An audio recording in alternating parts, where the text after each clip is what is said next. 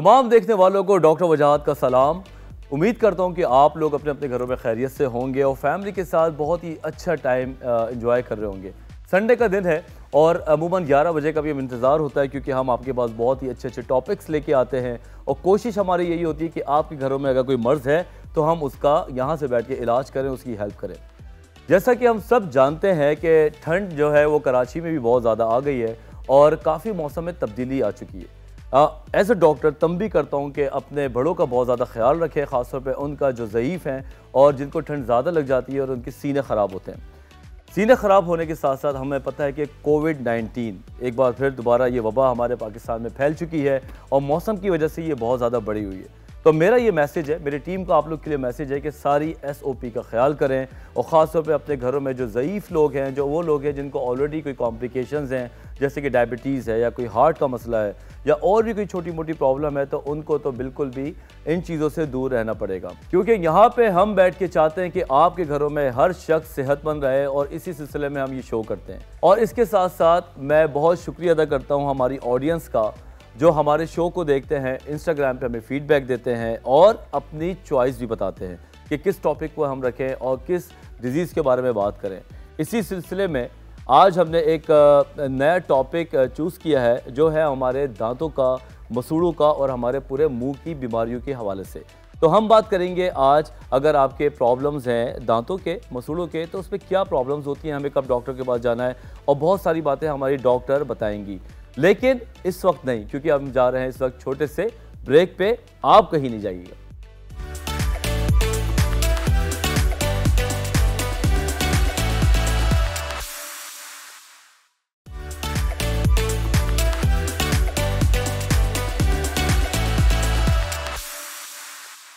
Welcome back after the break जैसे कि हमने वादा किया था कि आज हम बहुत ही इंपॉर्टेंट टॉपिक पे बात करने जा रहे हैं, जिसका नाम है oral health and dental problem अपने फेवरेट सेगमेंट में health and wellbeing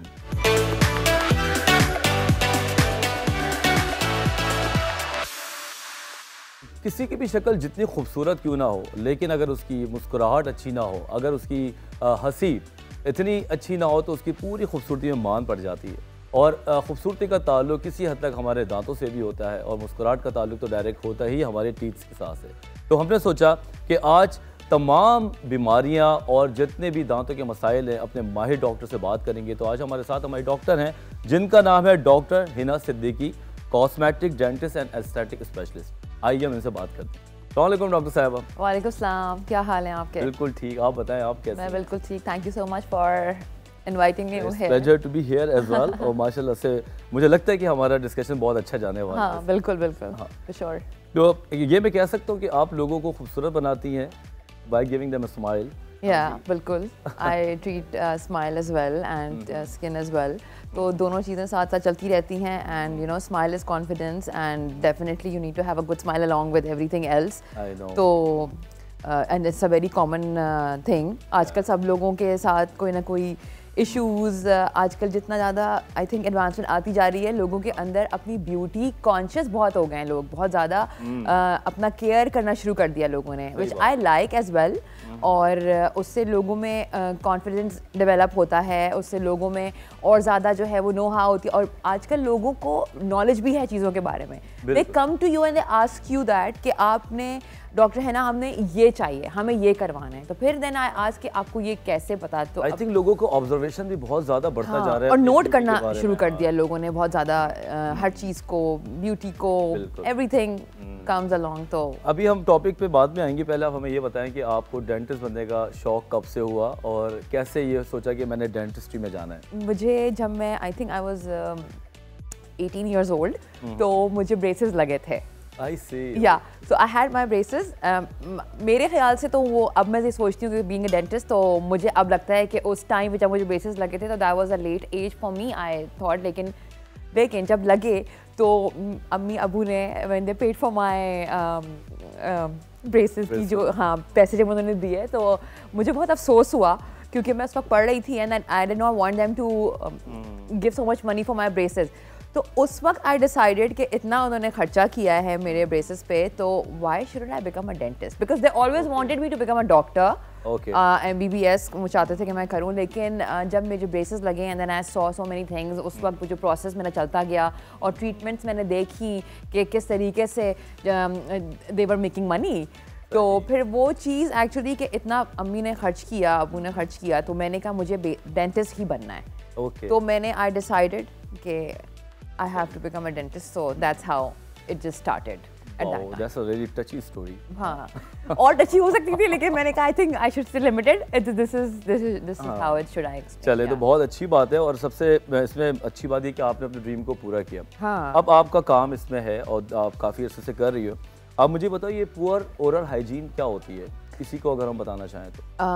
I think सबसे पहली चीज़ ही जो है वो ओरल हाइजीन होती है। अगर आपका मुँह ठीक होगा आपका मुँह साफ़ होगा तो आपकी बाकी चीज़ें भी साफ़ होंगी। क्योंकि you eat through it you breathe breathe through it also और आपको पता होना चाहिए कि आप किस तरीके से और क्या चीज़ खा रहे हैं। और वो तो आप ठीक है सेकेंडरी चीज़ों में आती है but primarily you have to take care of your hygiene by tooth brushing toothbrush सबसे ज़्यादा सिंपल एंड ईजी चीज़ है ओरल हाइजीन मेंटेनेंस अच्छा पूरा ओरल हाइजीन जब होती है when you have a bad breath when you have bad teeth dirty teeth या फिर आपके दांतों पे प्लाग जमा हुआ हो जो लोग खाने के बाद ब्रश नहीं करते और they forget to floss also और बहुत सारी चीज़ें होती हैं खाने के बाद ये ज़रूर करते हैं लोग रात को खाना खाते हैं and then they want to sleep mostly I know a lot of people जो मेरे पेशेंट्स हैं वो कहते हैं कि हम लोग ब्रशिंग नहीं करते रात को खाने के बाद विच इज़ वेरी इंपॉर्टेंट रात को ब्रश करना इज़ वेरी इंपॉर्टेंट सुबह तो है। बावजूद ये कि हम बचपन से ये बातें सुनते आ रहे हैं हाँ। लेकिन इसको हम लोग इतना कंसिडर नहीं करते कि रात को सोने से पहले ब्रश करें लेकिन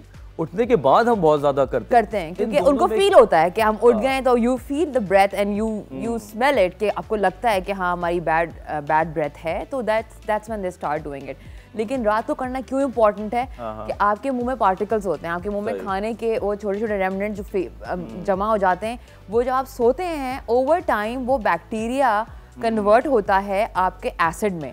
तो जब वो एसिड में कन्वर्ट होता है वो विद टाइम आपका प्लाग बन जाता है मुँह में जो कि हमें रियलाइज़ नहीं होता। विद टाइम हमें पता लगता है कि वो किस तरीके से आपका प्लाग बनता है and that's when you want to go to the dentist after a certain time period to get your cleaning done okay मतलब पुअर ओरल हाइजीन जो है वो हमें इतना नज़र नहीं आता लेकिन हम रोज डेली कर रहे होते हैं बिल्कुल। फिर हमारे दांत खराब होते हैं। और poor oral hygiene is also sorry one of the cause of all the diseases of oral health और ओरल हाइजीन और ओरल प्रॉब्लम्स सबसे hmm. ज़्यादा इंपॉर्टेंट कॉज है poor oral hygiene start from it it starts बस start from it it starts everything start from it. अच्छा in contrast फिर हम बात करते हैं कि गुड ओरल हाइजीन क्या होती है? हाँ, ये भी बता दें फिर आप। गुड ओरल हाइजीन ये होती है कि अगर आपके दांत साफ़ हो आपके दांत वेल मेंटेन्ड हों और आप ख्याल रखते हों उसको आप ब्रशिंग कर रहे हैं आप फ्लॉसिंग कर रहे हैं आप माउथ वॉश यूज़ कर रहे हैं और आप अपना खाने के बाद कुल्ली कर रहे हैं या खाने के बाद आप रिंस कर रहे हैं तो that's a good oral hygiene and everything is maintain you don't have any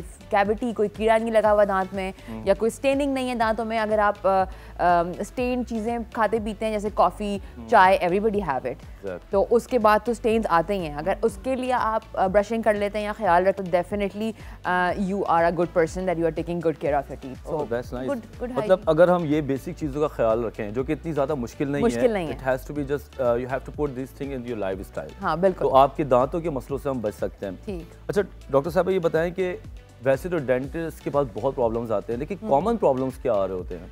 common problem मैं यही कहूँगी पूरा हाइजीन तो है अ, उसके अलावा सेंसिटिविटी हो सकती है ज़्यादा कॉमन में आपका होता है और इसके अलावा आपका कैविटीज़ हो जाती हैं। और आई फील मैल एक्लूजन भी one of the common problem है यंगस्टर्स में कि दांत टेढ़े मेढ़े। ठीक है। हाँ, टेढ़े मेढ़े दांत होते हैं। तो ये तीन चार कॉमन प्रॉब्लम्स हैं और छोटे छोटे रीजन से स्टार्ट होते हैं जो फिर वो बढ़ते जाते हैं टाइम के साथ because a lot of people ignore their problems at the beginning और उस वक्त आप कभी भी डॉक्टर के पास नहीं जाते। बिल्कुल। तो आप जब जाते हैं जब पानी सर से गुजर जाता है यू रियलाइज़ कि अब हमें जाना दर्द चाहिए। होना शुरू होता है। एग्जैक्टली या दर्द होना शुरू होता है या कैविटी बढ़ जाती है। बिल्कुल। तो या फिर you. Have a hole in the tooth okay. हम्म। अब ब्रेक पे जाना है लेकिन कुछ क्वेश्चंस अभी हैं हमारे पास आपके लिए। तो जिस तरह डॉक्टर साहब ने ये बोला कि अगर हम थोड़ा शुरू से अपनी आदतें डाल रहे हैं और रात को अपना मुँह साफ़ करके सोएँ, चाहे वो माउथ वॉश हो, चाहे ब्रश हो तो आने वाले टाइम में जो 35 40 के बाद हमारी जो लाइफ है, जिसमें दांतों के लिए ऑलरेडी इश्यूज़ क्रिएट होना शुरू होते हैं तो वहाँ पे हम काफ़ी अपने दांतों को महफूज कर सकते हैं। एक सवाल, बल्कि बहुत सारे सवाल हम करेंगे, लेकिन छोटे से ब्रेक के बाद कहीं जाइएगा नहीं।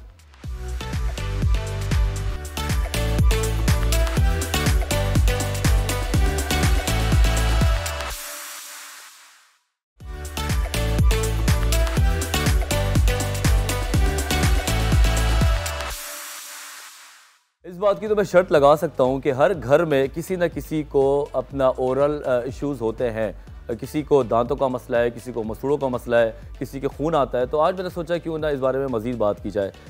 एक क्वेश्चन आपके पास लेके आता हूँ कि कब किसी पे, पेशेंट को या किसी भी इंडिविजुअल को डेंटिस्ट के पास जाना चाहिए? जनरली uh, अगर कोई भी नॉर्मल uh, हो ज़रूरी नहीं है कि आपको दर्द हो रहा हो तो आप डेंटिस्ट के पास जाएँ। सही। आपको जाना चाहिए एटलीस्ट सिक्स मंथ्स या वन ईयर में अपना एक रेगुलर डेंटल चेकअप ज़रूरी है कराना। दैट्स इम्पोर्टेंट ये एडल्ट लाइफ से स्टार्ट हो जाता है या कोई सर्टन थर्टी बचपन से ही आपको स्टार्ट हो जाना चाहिए। बच, बच्चों में कितनी प्रॉब्लम्स होते हैं? हम्म। बच्चों के दांतों की प्रॉपर ब्रशिंग वो खुद तो नहीं करते ना उनकी मदर्स करती हैं। इनिशियली तो वो ही करती हैं। हम्म। अब यू नेवर नो कि वो किस तरीके से ब्रशिंग हो रही है। हम्म। और बच्चे तो ऐसे होते हैं कि वो मीठा बहुत शौक से खाते हैं। सही।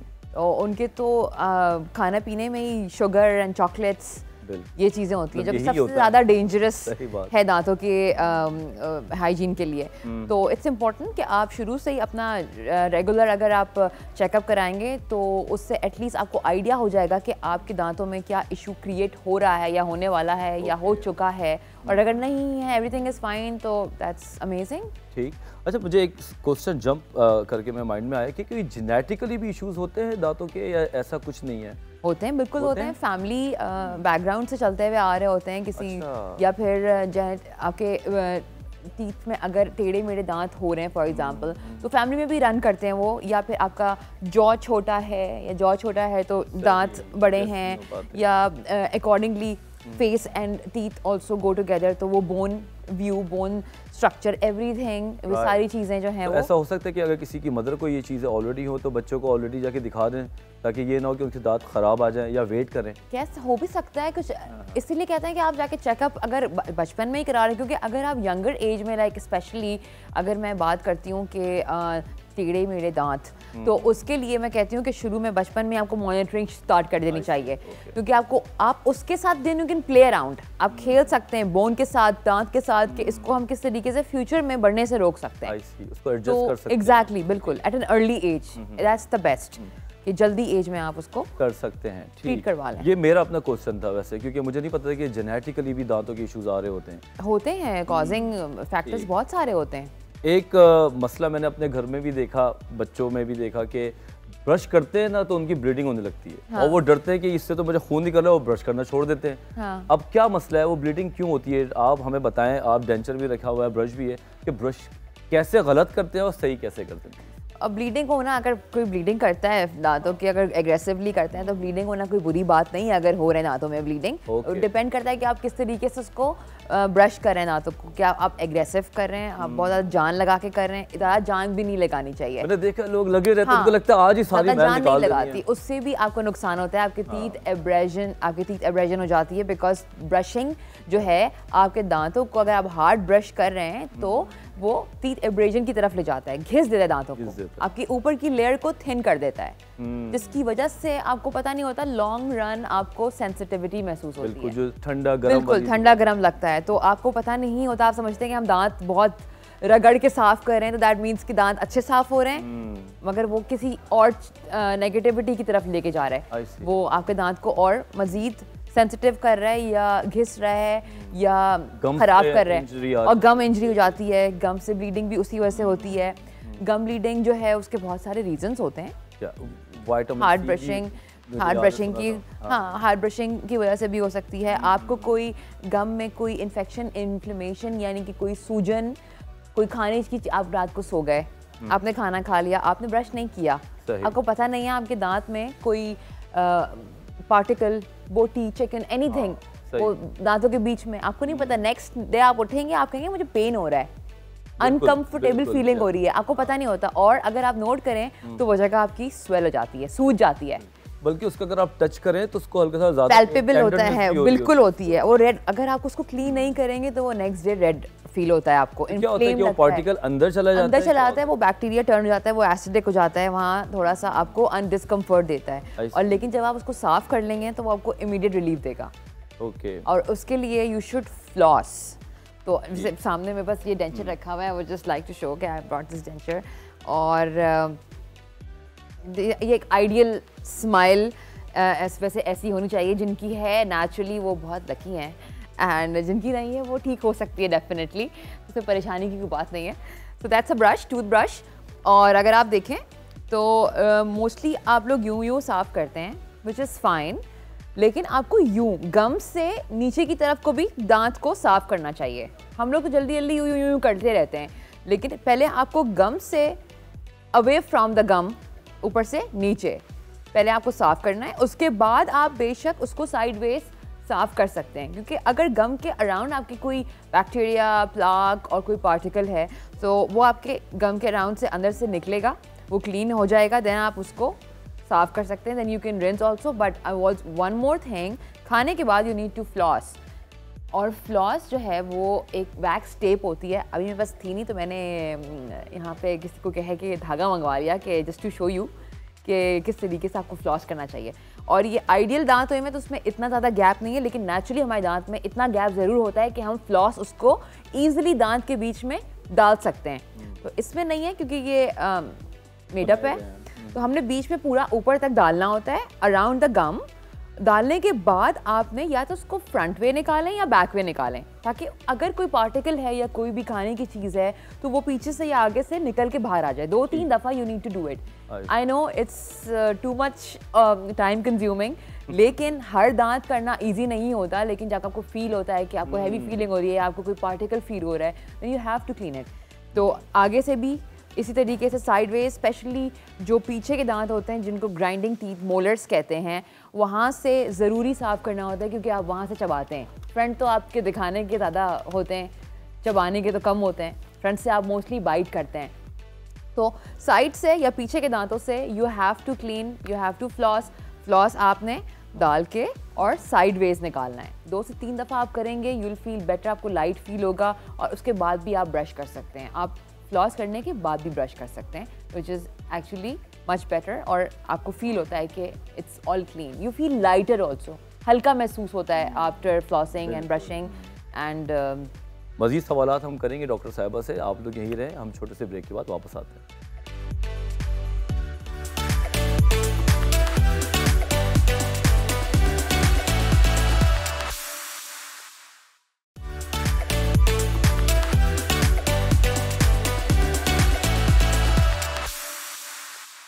Welcome back after the break तो हम बात कर रहे थे अपने होरर हाइजीन की और जो भी हमारे दांतों के गम्स के बीमारियाँ हैं। ब्रेसेस बहुत इंपॉर्टेंट टॉपिक ब्रेसेस कब लगवाने होते हैं और ये होते क्या हैं?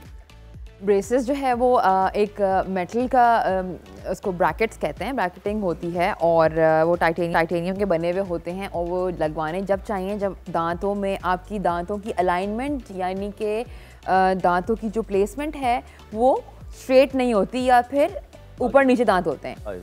और मोस्टली uh, जो है वो अगर आप अर्ली एज में लगवा लें तो that is the best nothing like it आप ओल्डर एज में भी लगवा सकते हैं लेकिन अर्ली एज में क्यों लगवाने चाहिए? क्योंकि आपकी ग्रोइंग एज होती है। हम्म। आपकी बोन ग्रोइंग स्टेज में होती है। तो आप जल्दी उसको ट्रीट कर सकते हैं।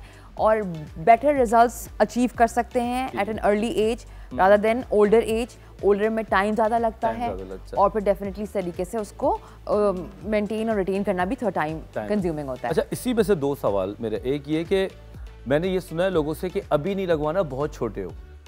अभी तुम बड़े हो जाओ फिर हम ये लगाएँगे। तो वो कौन सा छोटा वाला एज है कि जहाँ पे इसको मना किया गया या नहीं एट ऑल किया ही नहीं गया। इसीलिए मैंने पहले शुरू में कह दिया था कि आप लोगों को पहले डेंटल रेगुलर चेकअप अपना कराना ज़रूरी होता है कि अगर आपको ज़रूरत है तो डॉक्टर उसी वक्त एडवाइस कर देगा कि किस एज में या कब आपको आना चाहिए। हम्म, हम्म। ठीक है? लेकिन हम लोग जहाँ तक मैं आपको मुझे रिकॉल होता है एट ऑनवर्ड्स मॉनिटरिंग स्टार्ट हो जाती है ब्रेसेस की या फिर फंक्शनल अप्लायंस की जो हम लगाते हैं ज़रूरी नहीं है कि आप ब्रेसेस से ही दांत ट्रीट करें अगर आप अर्ली एज में ट्रीट करें तो आप दूसरे अप्लायंसेस भी होते हैं Okay. जिनसे दांत आप सही कर सकते हैं क्योंकि वो जल्दी यंग एज है ना hmm. तो उससे आप जल्दी एक और सवाल होगा कि ओवरऑल कितना पीरियड लगता है किसी के दांत जो ख़राब थे उसको अलाइन होने में होता है ना किसी शादी होने वाली होती है तो उसको कब स्टार्ट कर देनी चाहिए ये चीज़ कि शादी तक ठीक हो जाए? कम अज़ कम वन टू टू ईयर. अगर अर्ली एज है तो जल्दी भी हो जाते हैं बट रिटेंशन का टाइम देना होता है। Retention is very important okay एक और इंपॉर्टेंट रूट केनाल ये क्या होता है? मैंने बचपन से सुन रहा हूँ लेकिन मुझे समझ नहीं आया इसकी रूट केनाल होता क्या है? रास्ता बनाते हैं क्या होता है? बस ये रूट और कैनाल रूट जो है वो आप, आपके दांतों में रूट्स होती हैं। ठीक है। अगर आपके दांत में कोई इन्फेक्शन हो या कोई दर्द हो रहा हो या कोई कैविटी हो जिसकी की, कीड़ा लग जाता है बैक्टीरिया चला जाता है दांत के अंदर तो वो तो बड़ा कॉमनली सबको आइडिया हो जाता है। आप जब फिलिंग करा लेते हैं फिलिंग बहुत से लोग नहीं भी कराते।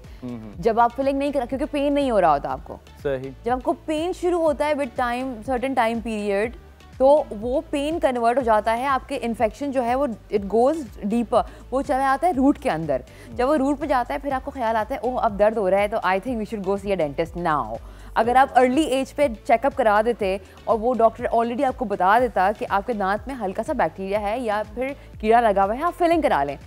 तो a stitch in time saves nine तो आप अगर पहले ही फिलिंग करा लेते तो वो आपको फर्दर इन्फेक्शन बढ़ता नहीं आपका। अगर वो आप सेव कर देते तो रूट कैनाल लगाने की ज़रूरत नहीं होती।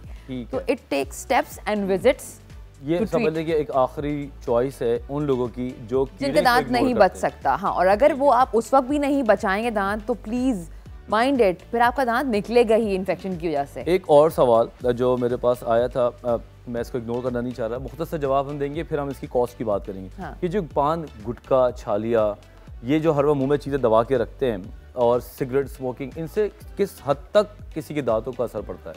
दांत क्या पूरे मुँह को? It's most common cause of oral cancer तो ये ये तो मैं कहती हूँ कि बहुत मेजोरिटी खाती है बताती भी नहीं है। बल्कि मैंने देखा है कि जो लोग ये पान छालिया गुटखा खाते हैं उनके दांतों के पीछे ब्राउन ब्राउन लाइंस होती हैं जिनके वो दांत स्टेन्स हो जाते हैं। हाँ टोबैको स्टेन्स? कहते हैं उन्हें। अच्छा। टोबैको स्टेन्स होते हैं वो क्लीनिंग से चले जाते हैं लेकिन फिर दोबारा ग्रो करते हैं उसके बाद जल्दी जल्दी तो फिर आपको उसको रोकना पड़ेगा। रोकना पड़ेगा या कंजम्पशन कम करें और अगर आप लेते भी हैं अपना कंज्यूम करते हैं तो प्लीज़ प्लीज़ टू ब्रश हाँ। मेरा ख्याल से डॉक्टर साहिबा मैं इस इस टॉपिक को कभी अलग से टच Sure, करूँगा sure. और आपको इंशाल्लाह इनवाइट करेंगे क्योंकि ये बड़ा वास्ट टॉपिक है। हाँ। चले अब आते हैं कॉस्ट पे।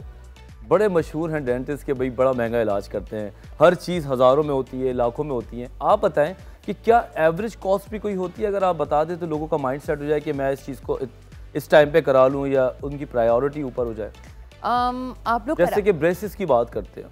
ब्रेसेस की कॉस्ट हर जगह डिपेंड करता है कि आप कहाँ से करवा रहे हैं हॉस्पिटल्स या हॉस्पिटल्स या कॉलेजेस में जो है वो कम प्राइस में हो जाता है। इतना ज़्यादा कॉस्टली नहीं होता। आई थिंक अगर आप क्योंकि स्टूडेंट्स कर लेते हैं और people who people who can not afford it तो वो जाके वहाँ से कॉलेज यूनिवर्सिटी से करा सकते हैं। स्टार्टिंग कॉस्ट उसकी थर्टी टू फोर्टी थाउज़ेंड होती है शुरू लेकिन वो चलती है दो लाख डेढ़ लाख, दो लाख डिपेंडिंग आप कहाँ से करा रहे हैं it depends on the environment ambience and the place also on the doctor's experience तो हर चीज़ मैटर करती है। तो आपको ज़रूरी नहीं है कि आप बहुत ही टॉप नॉच जगह जाएँ आप किसी यूनिवर्सिटी हॉस्पिटल जाके एडवाइस ले सकते हैं डॉक्टर से। और अगर आप अफोर्डेबल हैं तो हर किसी का अपना एक अफोर्डिंग वो है। मतलब इतना कोई आप उसके बारे में इतना ना सोच लें कि बहुत ही महँगा होता है अगर आप हाँ। मेहनत करेंगे तो सस्ता भी निकल हाँ। लेकिन आप जल्दी एज में करा लेंगे तो यू विल बी हैप्पी ये अच्छा मुझे ये मेरा भी एक क्यूरियोसिटी है समझ लें कि वाइट टीथ या हॉलीवुड स्माइल ये क्या होती है? और मुझे भी ज़रा मशवरा दे दीजिएगा तो फिर मैं भी इसको फॉलो कर लूँगा। अच्छा हॉलीवुड स्माइल हॉलीवुड स्माइल अब एक नाम बन गया है कि हॉलीवुड स्माइल उसमें बहुत सारी चीज़ें हो सकती हैं। ज़रूरी नहीं है कि आप हॉलीवुड स्माइल के लिए कोई एस्थेटिकली कोई चीज़ लगाएँ। या फिर वो आपकी अगर दांतों की अलाइनमेंट सीधे हैं आपके दांत खूबसूरत हैं ऑलरेडी आप उसको मजीद वाइट कर सकते हैं टीथ वाइटनिंग एक प्रोसीजर होता है टीथ ब्लीचिंग भी कहते हैं उससे तो उससे आप टीथ वाइटनिंग कर सकते हैं। और दांत आपके अगर साफ़ हैं एंड प्रॉपरली जगह पर हैं तो you don't need anything else वो दैट्स द बेस्ट लेकिन हम दांतों को मजीद बेहतर ऐसे भी कर सकते हैं जिनको ब्रेसेस नहीं लगाने या एस्थेटिकली आपको ट्रीट करना है तो आप क्राउन्स लगा सकते हैं। Aligners is also another topic जो कि बहुत वास्ट टॉपिक है। वो भी हम बात करेंगे कभी इन आपके शो पे आके। और इसके अलावा जो है वो क्राउन्स हो गए या फिर विनियर्स हो गए। ये सारी चीज़ें आपकी हॉलीवुड स्माइल के अंडर आती हैं और ये सारी चीज़ें आपकी स्माइल को मज़ीद परफेक्ट कर सकती हैं। डिपेंडिंग कि किस तरीके की आपको स्माइल चाहिए या आपकी स्माइल में क्या फ्लॉज हैं। पॉलिशिंग वाइटनिंग ये सारी वाइटनिंग पॉलिशिंग एवरीथिंग ये सब चीज़ें। इसमें आती हैं अगर क्या कॉस्ट होती होगी इसकी ज़रा ये डिस्काउंट के साथ बताइएगा। डिस्काउंट तो नहीं क्या स्टार्टिंग आई थिंक दस से पंद्रह से हर जगह से स्टार्ट इतना ही होता है और फिर it goes up till thirty forty thousand okay doctor है ना। बहुत मज़ा आया और काफ़ी चीज़ें मुझे बड़ी क्विक टाइम में पता चली। कोई ऐसा मैसेज जो आप अपनी तरफ़ से देना चाहते हैं ऑडियंस को please I think smile is confidence सबको पता ही है और beauty is power and the smile is it's sort so I think keep smiling everyone जनाब तो आपने सुना कि हमारे चेहरे पे जो दांत हैं उसकी कितनी वैल्यू है। और हम अगर इनको इग्नोर करें तो ये हमें दर्द भी देते हैं और हमारी खूबसूरती को भी ख़राब करते हैं। ख़ास तौर पे मैं उन लोगों को बोलता हूँ जो छोटे बच्चे होते हैं, जो चिंगम्स खाते हैं, जो चॉकलेट्स खाते हैं, बल्कि ज़िंदगी में वो सिर्फ़ स्वीट खाते हैं। और वो लोग फिर रात को ऐसे ही सो जाते हैं, उनके मुँह के अंदर चीज़ें जमा होती हैं और सुबह पेन होते हैं। अगर बच्चों को समझ नहीं आता तो माँ बाप को चाहिए कि वो बचपन से ही उनके लाइफ स्टाइल के अंदर इन चीज़ों को डालें। प्रायोरिटी की बात होती है। जिस तरह हमें याद है कि हम सुबह उठ के ब्रश करते थे, ये हमारे बड़ों ने हमें सिखाया। और हमें लगता है कि ये बड़ा अहम है। इसी तरह आज डॉक्टर हिना से पता चला कि रात को ब्रश करना भी उतना ही ज़रूरी है। क्योंकि अगर आप वो नहीं करेंगे तो हमारे मुँह में आठ घंटे, दस घंटे वो जरासीम रहेंगे और वो हमारे लिए ख़राबी होंगे। दूसरा ये कि हमेशा खाने पीने में एहतियात करें। ऐसे पाँच छालिए ये चीज़ें ना खाएँ जिनसे आपके दांतों में तेज़ी से ख़राबियाँ हो वाइटामिन का ख्याल रखें अच्छा खाएँ, एक्सरसाइज करें और मैं तो कहता हूँ कि अपने पूरी सेहत का ऐसे ख्याल करें क्योंकि ये सबसे इंपॉर्टेंट चीज़ है। क्योंकि मैं एज अ डॉक्टर बताऊँ हॉस्पिटल में मैं काम करता हूँ और मैं देखता हूँ कि जब कोई बंदा एमरजेंसी में आता है, जब कोई बंदा हमारे वार्ड में आता है बीमार होता है तो उसको सिर्फ़ एक फ़िक्र होती है कि हमारे सारा पैसा ले लो, सब कुछ ले लो, लेकिन प्लीज़ हमारी सेहत को बचाओ। तो आई थिंक हमें उस दहलीज पे नहीं जाना चाहिए, हमें अपने आप को प्रोएक्टिवली कंट्रोल करना चाहिए। क्योंकि अगर आप कंट्रोल इन्वायरमेंट अपने सारे काम कराएँगे तो आपको फिर बड़ी आसानी होगी और आपके पैसे खर्च भी नहीं होंगे। बहुत शुक्रिया डॉक्टर साहबा। और मुझे भी बड़ी अच्छी बातें पता चली। इस शो को करने का मकसद ही यही है कि बुनियादी नॉलेज आपको आपके घरों तक पहुँचे। तो आई थिंक इस सेगमेंट के बाद आपको पता चल गया होगा कि दांतों का ख्याल कैसे रखना है। अब हम जा रहे हैं ब्रेक पे और उसके बाद आपको मिलते हैं एक छोटे से सेगमेंट में, जिसका नाम है लाइफ सेविंग हैक्स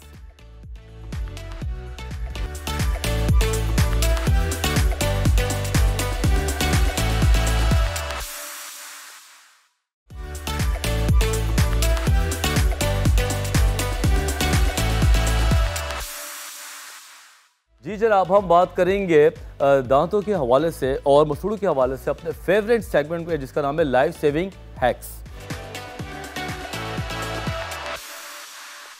अगर आपके गम्स में सूजन आ जाए और अगर आपके गम्स में टेंडरनेस हो और सूजन के साथ साथ दर्द हो तो आपने क्या करना है? आपने करना यह है कि आइस पैक्स को लेना है और 10 से 15 मिनट अपने उस जगह पे रख के थोड़ा सा थपथपाना है।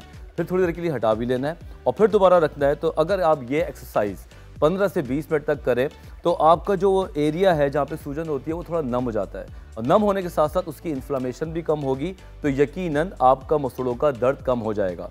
लेकिन याद रखें, ये ट्रीटमेंट नहीं है, ये वक्ती दर्द कम करने का तरीका है, उसके बाद आपको डॉक्टर के पास जाना ज़रूरी है, उसकी रूट कॉज मालूम करने के लिए।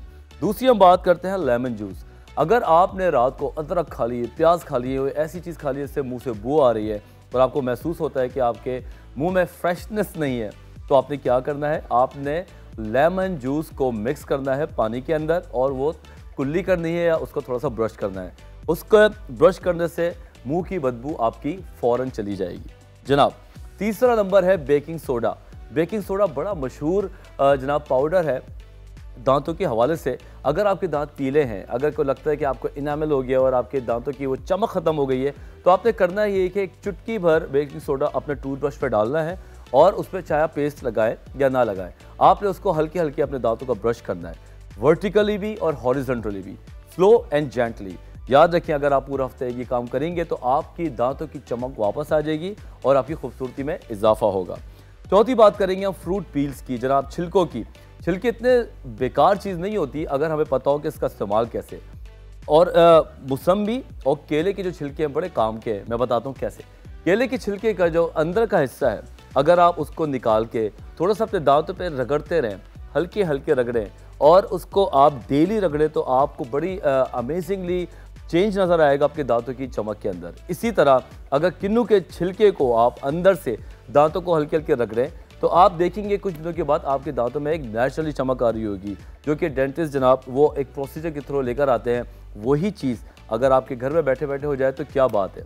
लेकिन याद रखें, ये चीज़ें एक दिन में नहीं होती अगर कोई समझता है कि आज मैंने ये काम किया और अगले दिन मुझे सारे रिज़ल्ट मिल जाए तो ऐसा नहीं होता। आपको ये काम डेली करना पड़ता है। तो ये लाइफ सेविंग हैक्स से आज हमारे आपके लिए मैं उम्मीद करता हूँ कि कोई भी एक हैक अगर आप आ, उठा लें और डेली करें तो डेफिनेटली इसका रिज़ल्ट आपको मिलेगा। और आप हमें ये बताना ज़रूर बताना नहीं भूलिएगा कि आपको रिज़ल्ट आया नहीं। तो इसी के साथ आज के शो को हम अख्ताम की तरफ़ लेके जाते हैं। मैं इस बात की उम्मीद करता हूँ कि आप लोगों को गम्स दांत और जो मुँह की बीमारियाँ हैं, इसके बारे में बहुत ज़्यादा नॉलेज हो गई होगी। सबसे इंपॉर्टेंट बात तो ये पता चल गया होगा कि आपको डेंटिस्ट की तरफ़ कब जाना है, किस एज में ब्रेसेस लगवाने हैं, या किस एज में या किस टाइम पे रूट केनाल करवानी है। क्या इसके कॉस्ट है? और ज़रूरी नहीं है कि ये बहुत महँगी हो, सस्ती भी होती है, ये हमारे दिमाग का फतूर है कि हमें लगता है कि दांतों के सारे इलाज बहुत महँगे होते हैं। अगर आपको कोई मसला भी है तो आप हमारे पेज पे लिख सकते हैं, आप मुझसे कांटेक्ट कर सकते हैं, हम उस हवाले से भी आपकी मदद कर सकते हैं। और जाते जाते दोबारा एक इंपॉर्टेंट बात करूँगा जो कि बहुत ज़्यादा ही लम्हा फ़िक्रिया कह लें कि कोविड नाइन्टीन और ठंड मौसम, ये दोनों जो है किसी भी एज जो कि 50 साल से ज़्यादा हो, उसकी सेहत का बेड़ा गर्क कर सकते हैं। तो इसको आप सीरियस लें, आप इसके बारे में मज़ाक ना उड़ाएँ एस ओ पी को फॉलो करें, जो भी हमारी गवर्नमेंट कहती है जो हमारे डॉक्टर्स कहते हैं, वो सिर्फ़ आपके भले के लिए कहते हैं। आप प्लीज़ उनको फॉलो करें, क्योंकि अगर आप लोग मरीज़ ही कम भेजेंगे, अगर आप लोग की तरफ़ से ऑलरेडी मर्ज कम होगा तो बिलीव करें, हम डॉक्टर्स के ऊपर बर्डन कम होगा। अगर हमारे डॉक्टर्स के ऊपर बर्डन कम होगा तो हम एक एक मरीज़ को बहुत अच्छी तरीके से देख के सेहत उसकी वापस लौटाएँगे। इसी के साथ आज के शो के लिए शो के बाद मैं खुदाफिज करता हूँ। इन ताला नेक्स्ट संडे 11 बजे डॉन पे एक और फेवरेट टॉपिक के साथ आएँगे जब तक के लिए अल्लाह हाफिज़।